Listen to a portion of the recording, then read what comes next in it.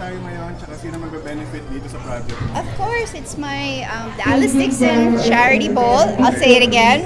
Okay lang po, okay lang po. May mic tayo. So it's the Alice Dixon Charity Bowl, and of course, like last year, our benefactors are the Kalipay Orphanage in Bacolod.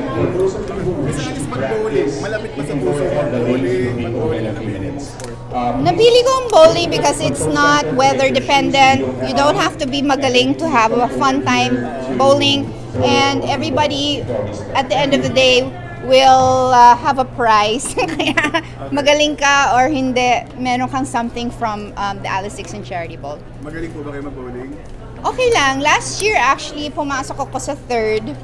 Uh, but then I had I gave it na lang to one of the other artists para kasi I didn't I don't want to win my own bowling ano eh, my own bowling charity event.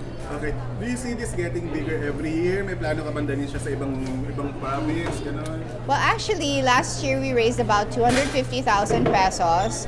Uh, this year we've doubled that and actually we've raised in prizes and in in cash uh, 750,000 pesos.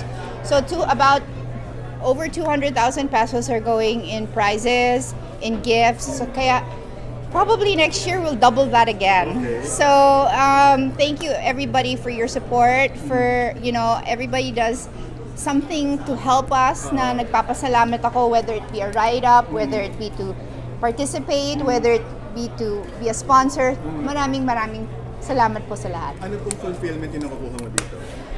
Well, um, I was telling one of my friends, is it really worth? Kasi parang it's it's kind of getting bigger and bigger every year. Every year. Last year it was really fun to produce, but this year it's getting a little harder, more difficult kasi marami ng tao. And she said, you know, half a million that really helps a lot of people. So we keep we'll keep on doing it until makakatulong sa ibang tao. Christmas plans mo, Miss Alice. Dito ka ba sa bansa? Alis ka? I'll be here in the Philippines. Uh, Christmas Eve, I think I'll spend it lang with my brother. And then Christmas Day, I'm going to Boracay to be with my other family naman. Okay. Okay, and kumusta naman ang success ng ngayon at kailanman? How are you enjoying the program? Marami nang naiinis sa'yo. Boga! Um, actually, naiinis rin ako sa sarili ko doon eh. Oh. So, uh, ganun, ganun siguro ako ka-effective. And I just hope that it will not affect my chance to be, go back to doing bida roles. Kasi markado yung inis ng Yes. tao sa akin. I just hope I'll still have a chance to go back to doing bida when I want to.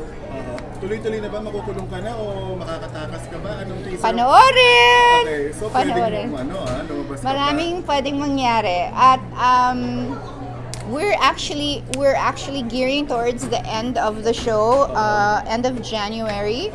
So for those na hindi nakakaalam, matatapos na po yung second chapter namin uh, January 18. Oo. Kaya all the revelations are starting to come out now that Christmas is coming and then all the way till the end po nasa climax na po tayo.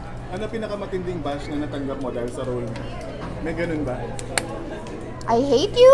Okay. Mga I hate you lang. Oo. Sinasagot mo sila. Hindi. Pwede rin. I love you. Thank you for hating me. Miss Alice Movies, anong abangan namin sa'yo? Of course, Nook, N-U-U-K, uh, our Greenland movie with Agamula. Um, this is going to, our final shooting is going to be in February in Dakak. And then hopefully we'll be going, uh, it will be edited now for the 2019 film festivals abroad before it will be brought here. How is Boracay now? Are you enjoying the, the